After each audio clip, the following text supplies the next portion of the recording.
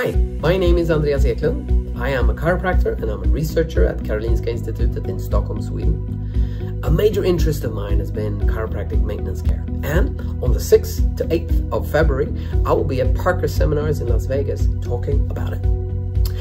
We're going to discuss indications and frequency and contents of care, but more important, we're going to look at the data that we have on effectiveness and cost effectiveness of maintenance care. We're also going to do a deep dive into the subgroup of patients who respond better or worse to the procedure. And of course, we're going to look at the clinical implications. Who do we select? And uh, who are the most suited for maintenance care? And how do we incorporate this in our clinical practice?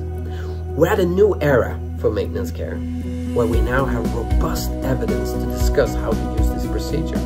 So come and join the discussion, and I'll see you at Parker Seminars in Vegas 2020.